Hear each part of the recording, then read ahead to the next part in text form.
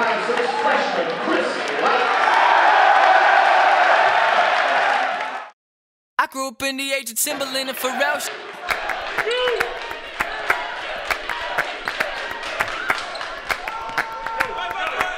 I grew up in the age of Timberland and Pharrell.